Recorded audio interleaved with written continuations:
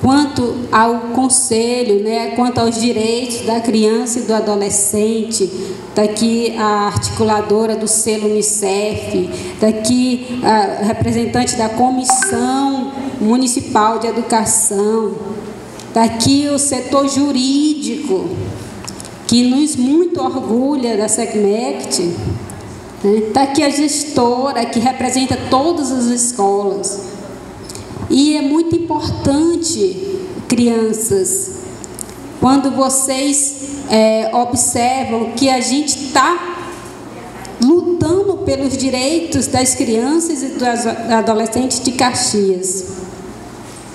É muito importante vocês receberem um prêmio hoje, também pelo esforço, mas principalmente por ter debatido esse tema na escola.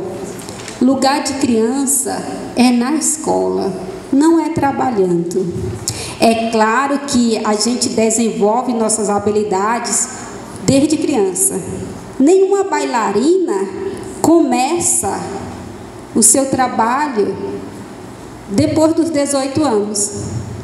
Nenhuma bailarina, é de criança. Nenhum jogador de futebol começa a treinar depois dos 18 anos. Mas o trabalho infantil, a exploração do trabalho infantil é diferente desse aprendizado. E é isso que a gente tem que entender. Entender que a gente tem sim que na escola, professora Nacélia, desenvolver as habilidades, e aí nós temos projetos, o Jovem Aprendiz, nós temos outros projetos que desenvolvem as habilidades. A exploração só acontece quando essa criança, essa adolescente, ele não tem o direito de optar. Ele tem que trabalhar para sustentar a família. Ele tem que trabalhar para se sustentar. Ele não tem a opção de ir para a escola. Isso é exploração.